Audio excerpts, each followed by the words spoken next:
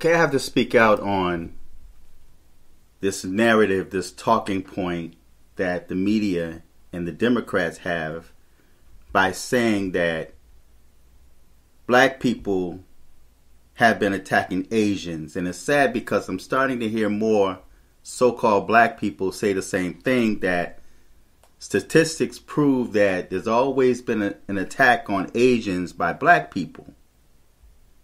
That is not true. That is not true at all. And I don't know why black people would accept that tag or that label as showing hate, racial hatred towards Asians. Now, it's quite interesting to me that a white man shot eight Asian women and the media started talking about what black people can do and how black people can be strong allies to Asian Americans right now. That's quite strange to me, being that black people have always had a certain level of respect for Asians. The so called black people have always supported Asians. Even back in time, I can remember back in the 70s, going to the movie theater, watching martial art movies, and black people strongly supported the Asians. Black people wanted to fight like Asians when I came up. I came up being a martial artist. When I finished, before I enlisted into the military, I made it to be a third degree black black belt. After enlisted into the military, then I started boxing. But before the military, I was into the martial arts since the age of probably seven or eight. I was into wrestling. When I entered the military, I started boxing. So black people have always supported Asians. Asians were set up in the so called black communities, and black people would support them. Now, if there was an attack on anybody, Asians have been attacking black people. Even in China, there had been news articles where black businesses sold degrading products with the black face on it, mocking black people. If I'm not mistaken, it was a restaurant, I think it was McDonald's, where they had some type of advertisement with a black person on it, a black face. And there's black people that went to China and will tell you that they've dealt with some type or some level of racism. Now, I will admit there's racism on on every level. But I know for myself personally, there's times that I've walked into Asian businesses. I had several grand in my pockets ready to spend with them. So I walked into this wholesale place and this Asian person was on a ladder, I guess was stocking the shelves. So I'm standing there waiting and waiting and waiting. The person saw when I walked in, and I'm patiently waiting. Well, a white dude walks in. The Asian immediately comes down off the ladder, walks to the white man, and says, How may I help you? And I'm like, Wait a minute. I've been standing here for the last five or ten minutes. Then the agent came like I was being bothered and just kind of, what do you want? And I said, "Don't. never mind, never mind. And then I went next door and gave them my business. This times I've gotten on the subway and there was an Asian woman that was sitting in the seat. I sat down. She became extremely frustrated and got up. She could not sit next to me. She had an issue with sitting next to me on the subway. I care less. You take of all the accounts that the media don't talk about when black women were attacked by Asians in the hair shops and the nail salons. So it's quite interesting to me that there was no hype when Asians were attacking black women in their nail and hair salons, but yet now it's a thing where black, brown, and Asian have to come together. We should be allies. This is no more than a ploy. What I think is happening, and I want you guys to go to my Spreaker channel or my WordPress and subscribe. This video will still be on there even after YouTube take this video off. But what I think is happening is the Democrats are building an army.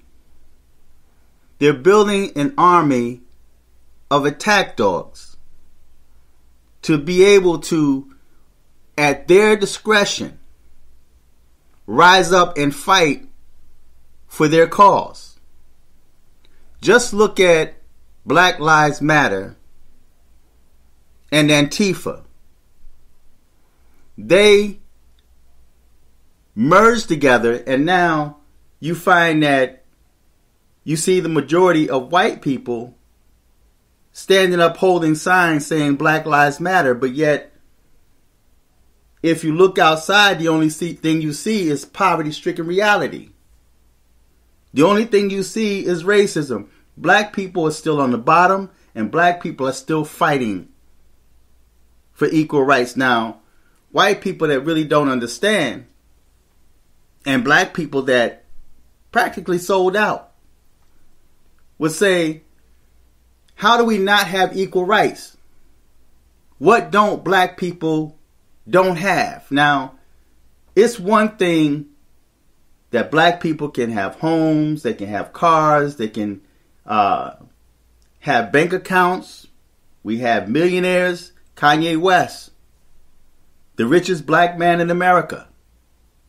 But yet, black people are still being gunned down by police. And the cops are walking. They may give black people a few crumbs.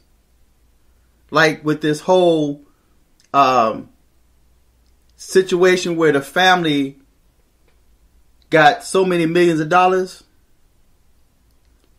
It's interesting because they don't even deserve that because these are people that cared nothing about George Floyd.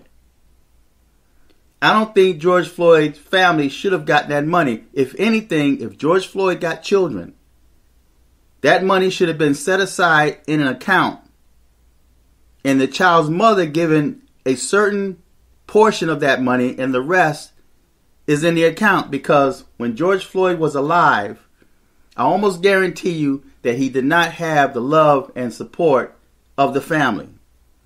Because if he did, and I know he's a grown man and he's responsible for his own actions, but if he had that kind of support from his family, George Floyd would not have been out there by himself being killed by police with a knee in his neck calling out for his moms.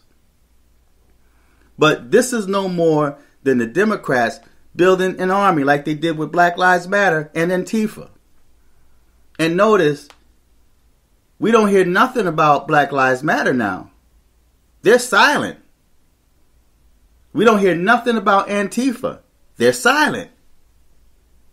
But I guarantee you, if the Democrats have an agenda, let's just say Trump, by some miraculous way, becomes president again.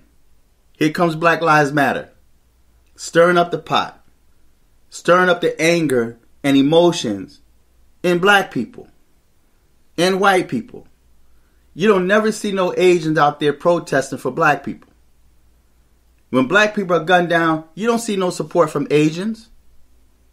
But I have seen quite a few videos of Asians attacking black people They've even put in movies. Remember that movie, Don't Be a Menace While Drinking Your Juice in the Hood?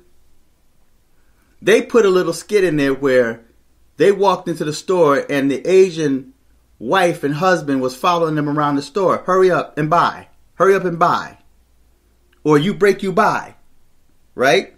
So we've been hearing this for a mighty long time from Asians. And it's probably because of their past experience with certain black people.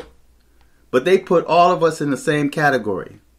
They don't support us. So now everybody is talking about uh, how the Asians are being targeted.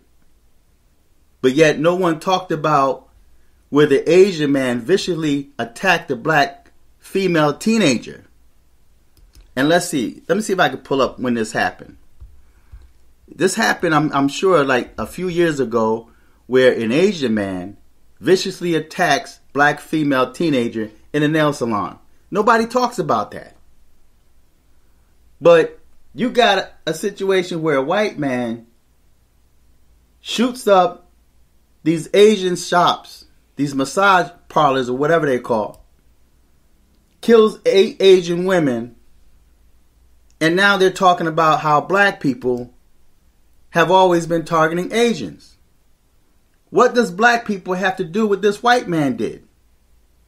So you're giving this white man a free pass? They're not talking about the true killer. They're making this a racial issue, and this had nothing to do with race. So are Asians really a victim of racial discrimination?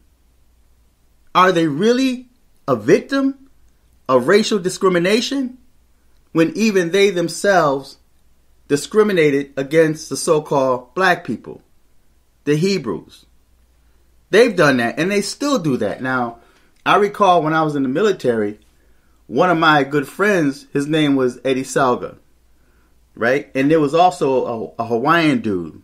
I don't know if Hawaiians are considered Asian or if Samoans are considered Asians because they kind of they kind of all look alike, you know. And it's bad to say that, but they do. They look alike, right? So I don't know. Maybe somebody can correct me. I don't know if Samoans or uh, Hawaiians are considered Asian, although I don't know. Although Hawaii is a part of America, but they all have that that Asian feature about them right? But I've had Samoan friends, I've had Hawaiian friends, I have I had Asian friends, and like I said, black people supported always supported Asians. But rarely do you see Asians support the so-called black people or the Hebrews in America. They don't support us. They don't support us. Back when I was growing up, man, just about every black dude, man, a lot of black dudes was into the martial arts. Everybody wanted to be like Bruce Lee, right? And they basically worship Bruce Bruce Lee on some um, on some form of a level. They basically try to worship this man because he was so good at what he did. Even to this very day, Bruce Lee is popular. Jet Li is popular. Jackie Chan is popular among black people. But you have a lot of Asians out there that don't like black people. They don't support. They will set up their businesses in the black community and make money off of the black community. And when their black customers walk in there, they treat them like crap. And in many cases, attack them. There's, in Brooklyn, there's been black people that protest and try to shut down Asian businesses because they attack black women. They just don't respect black people. They don't. So now they're the so called victim of racial hate. When that white dude that shot up eight Asians, it had nothing to do with race at all. They say it's a lot to do with his sexual addictions. But yet, black people are the ones that's targeted because black people have become the attack dogs for the Democrat Party. So whenever they want rebel rousers and whenever they want protesting, they go straight to the black community. Give you a couple of dollars, $1,400 here, $600 there, and now they're debating about $300 a week for a year that we're going to have to pay back a whole lot more.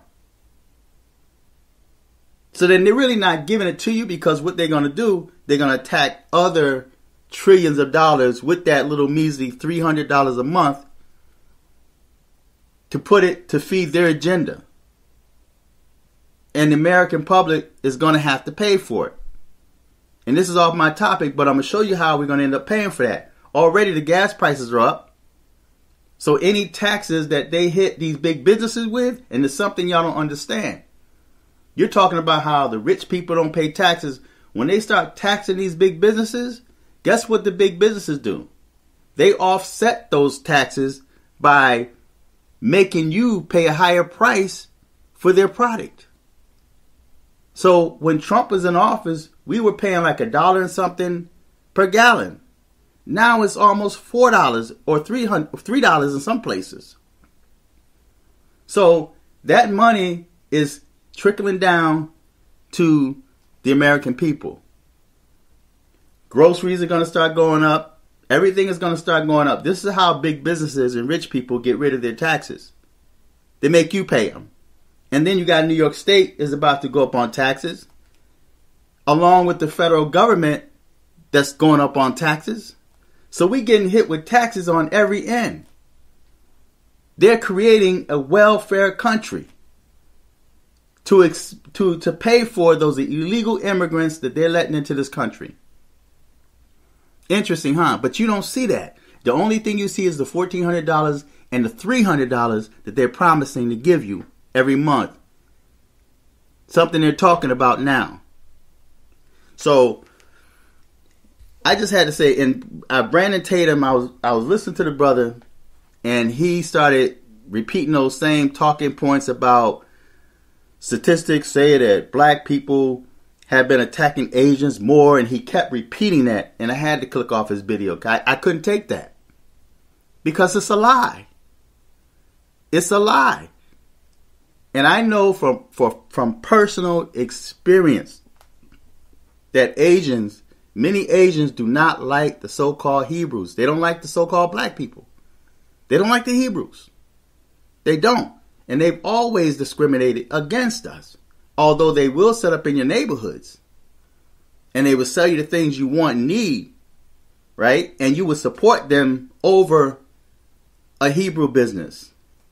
You've been supporting Asians for a long time, and black females, so called black females, still go back into these hair and nail shops even after you're disrespect eh, disrespected, even after you're you're attacked because they did something wrong and you want your money back, and then they end up closing those doors, they lock you up in there, and they attack you.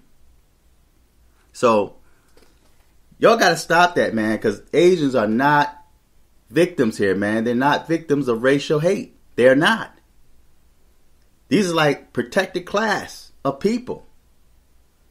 Black people are not even protected class. They're only protected class whenever the Democrats want to get a job done. Black people are the, the attack dogs of the Democrat Party. They merged with Antifa, and now they're trying to get the Asians and the blacks to become allies, to stand up and fight and hold signs.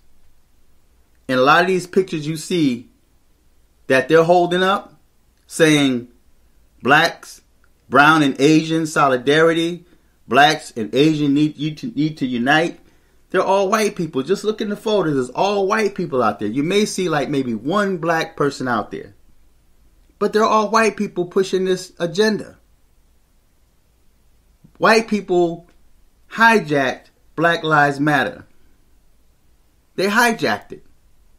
So whenever they want to stir up, stir the pot, and to stir the emotions, they make these signs black, brown, and Asian solidarity, black people attacking Asians.